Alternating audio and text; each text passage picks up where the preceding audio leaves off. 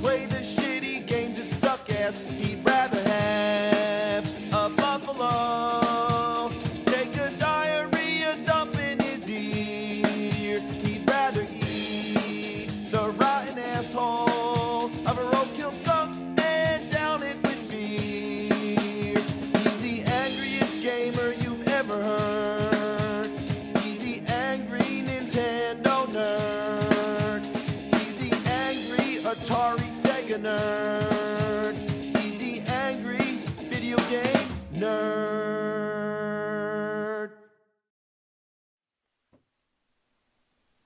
Сегодня я вас в прошлое не буду забирать слишком далеко. Лишь 2003 год. С игрой для PC Big Rigs Over the Road Racing. Обычно я смотрю приставочные игры и обычно игры не из этого миллениума. Но это был такой популярный запрос. Мне миллион раз говорили, что это одна из худших, а может самая худшая игра на свете. Но скорее всего это преувеличение. На вид так самое, что ни на есть обыкновенная гоночка про грузовики. И игра все-таки этого тысячелетия. Это уже после тех времен, когда видеоигры только зарождались. Когда какой-то контроль качества уже изобрели. Так что как плоха может она быть? Сейчас узнаем. Так, где моя мыха-то? Все, можем выбрать грузовик. Вроде норм. Теперь трассу. Так, ну и загружаемся. И гонка начинается.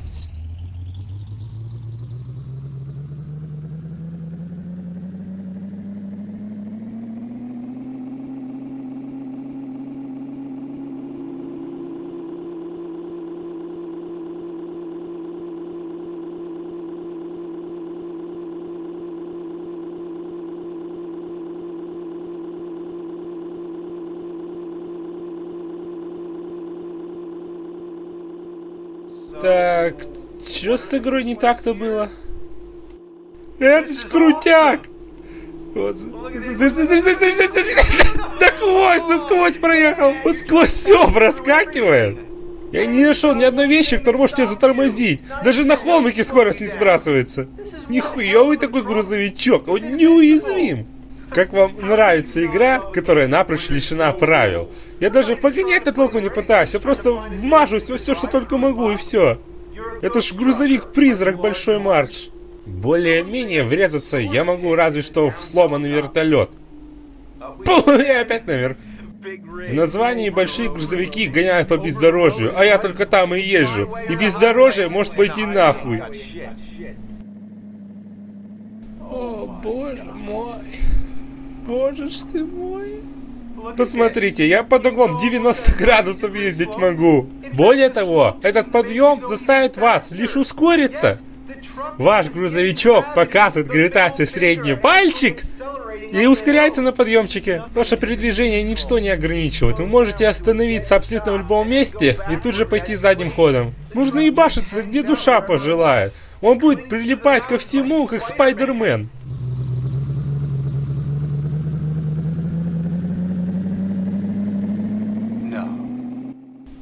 Быть того не может. Вот же. Давайте еще раз. Вот это да. А если повернуть?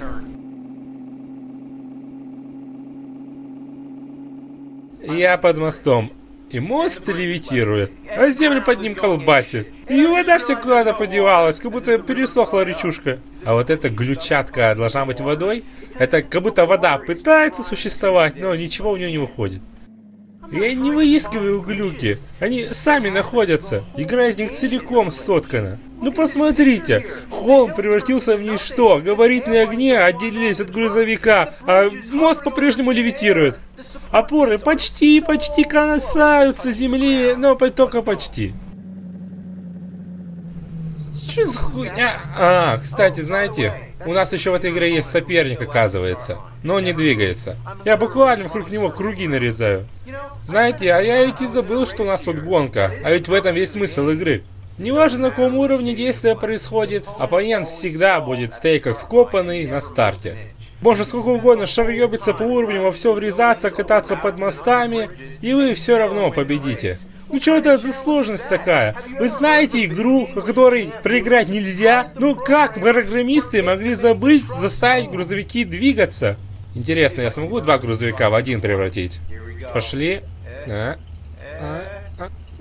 Да, красиво получилось. Давайте-ка на задний ход.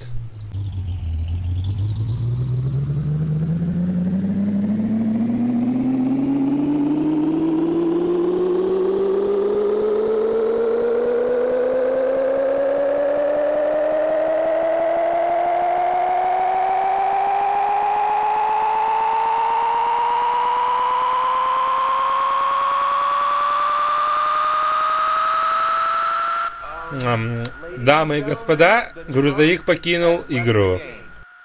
Игра настолько плоха, что не предусмотрели возможность из нее сбежать. Это и не трюк, и не секрет, и ничего такого. Все, что от вас требуется, это ездить в одном направлении, и в конце концов вы попьете в чистилище. Сек, сек, сек, сек. Так, давайте одну вещь зараз. Так, перво-наперво, почему грузовик быстрее ездит задним ходом, чем передним? Он ускоряется, похоже, до бесконечности. Спидометр уже несколько кругов успел сделать. Я, наверное, двигаюсь под сотню миль в час. На заднем ходу! На большущем грузовике! Меня занесло уже так далеко, что я вряд ли найду дорогу назад. Еще никогда я так далеко за гранью видеоигры не был. Как они могли такое допустить? Даже в самых говеннейших игр в подобных случаях рано или поздно я упирался в огромную серую стену ничего. Даже в LGN такого не происходило. Это самая нестабильная игра, что я когда-либо играл. Верите или нет, но моя копия это еще более свежая копия. Большая часть народа играла в другую версию, которую сейчас легче легкого найти в интернете. И она еще менее функциональна. В той версии одна из трасс просто-напросто не работает. Если вы пытаетесь ее выбрать, игра тут же вылетит в Windows. Невелика потеря, конечно. Уровень как уровень. Но ваш соперник делает все то же самое. То есть просто стоит на месте и ждет, пока вы поржете над ним и пересекете финишную черту.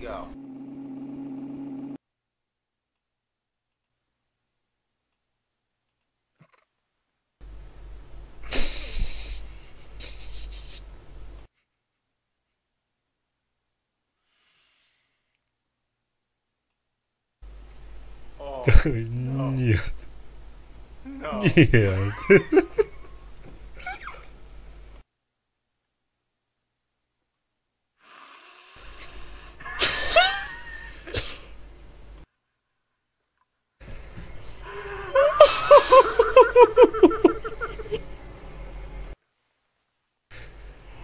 О, Нет.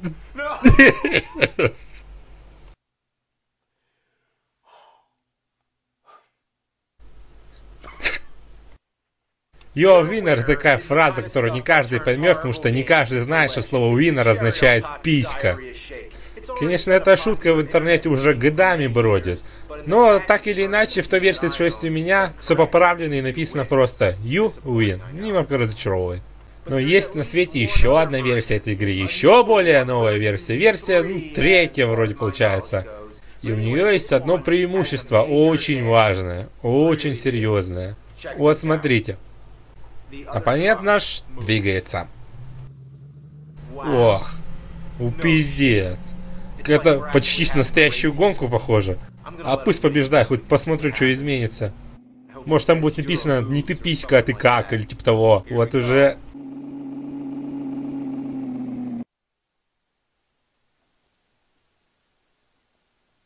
Это что такое? Как я победил?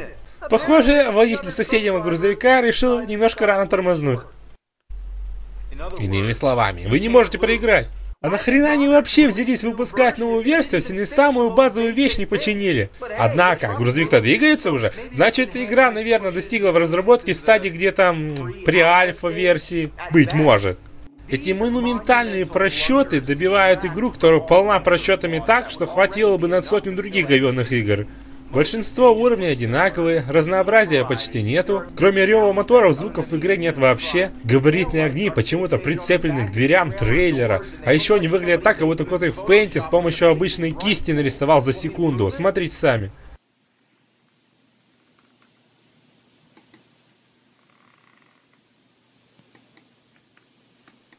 Вот и все. Улицы распидорасил так, будто здесь грючный гребень прошелся.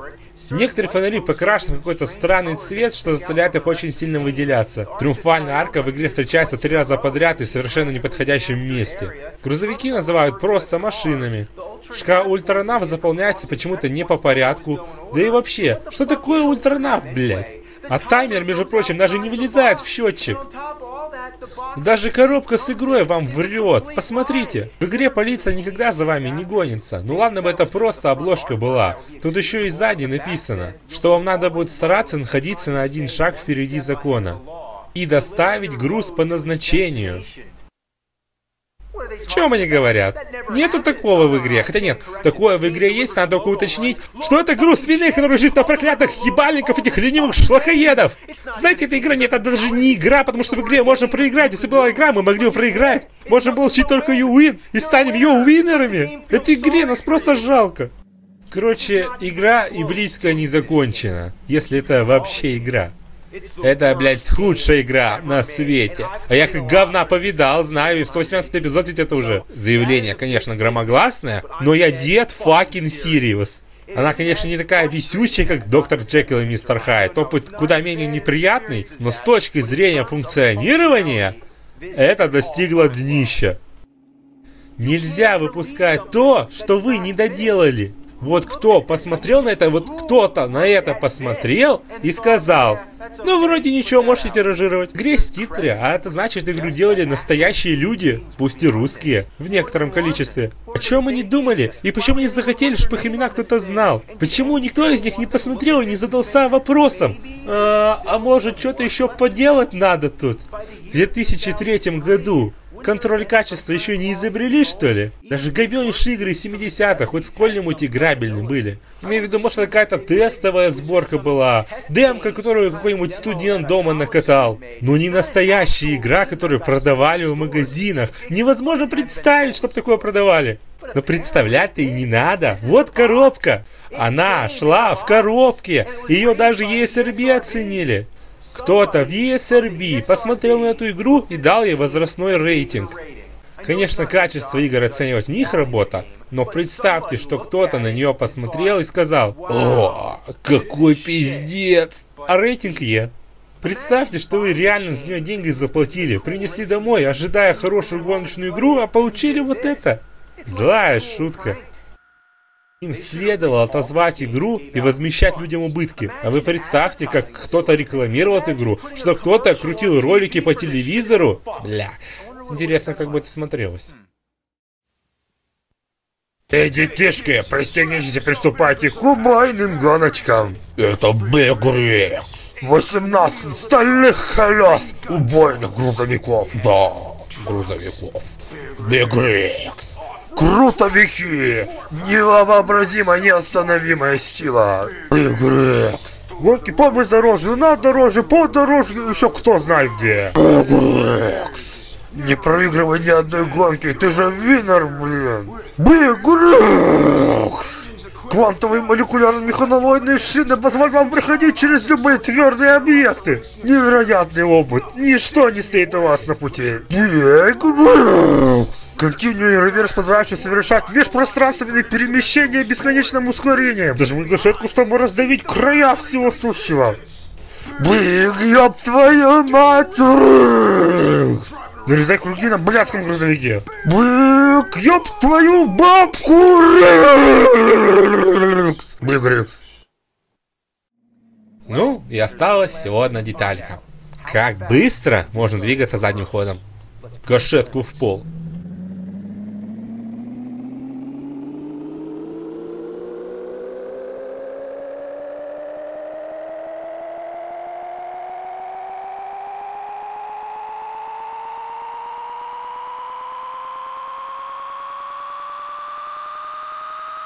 Грузовик ебет пол.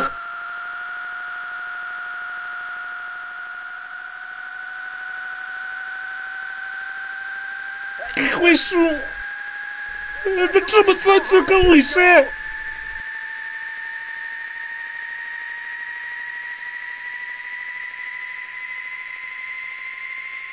Световая скорость! Да нелепого световая скорость! Сейчас что-то будет! Корабль может не выдержать! Надо остановиться! Блядь, блядь, блядь!